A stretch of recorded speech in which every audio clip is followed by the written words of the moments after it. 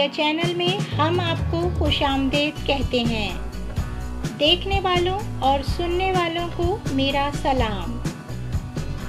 आपने अक्सर देखा होगा कि जब आप डॉक्टर के पास जाते हैं तो वो आपको जूसेस, ताज़ा फल और सब्ज़ियाँ खाने का मशवरा ज़रूर देता है।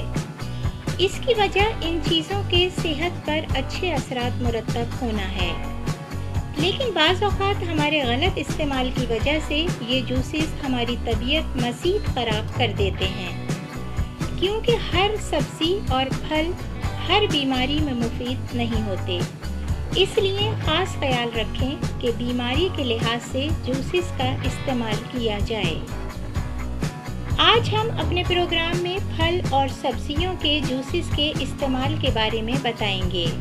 कि किस तरह आप बीमारी के लिहाज से जूसेस का इस्तेमाल करें। बीमारियों में जूस के ज़रिए इलाज जूस थेरापी कहलाता है। जूस का सही इस्तेमाल आपके मेटाबॉलिज्म के अमल को तेज़ करता है। सबसे पहले तो हम बात करेंगे खून की कमी की। आजकल का आम लेकिन नहायत ख़तरनाक मसला। खून की कमी को दूर करने के लिए महँगी दवाइयाँ खाने की ज़रूरत नहीं, बल्कि कुदरत की अता करदा नेमतों से फ़ायदा उठाएँ। खून की कमी को दूर करने के लिए आलूचा, लाल अंगूर, चुकंदर, स्ट्रॉबेरी, गाजर, चेरी और पालक का जूस इस्तेमाल करें। गठिया के मर्ज में अनानास, खट्टे सेब, खट्टी चेरी, लीमू, ग्रेपफ्रूट, चुकंदर और पालक का इस्तेमाल बेहतरीन है। जिन लोगों को सांस लेने में तकलीफ़ होती है, इन्हें चाहिए कि खुबानी लीमू आड़ू, गाजर और मूली का इस्तेमाल ज़्यादा से ज़्यादा करें।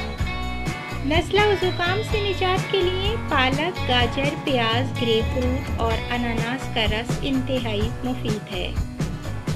डायरिया में लीमू अनानास और गाजर इंतहाई मुफीद है। दिल के मरीज़ों के लिए चुकंदर लाल अंगूर, लीमू, खीरा, गाजर और ग्रे फ्रूट का ज़्यादा से ज़्यादा इस्तेमाल करें।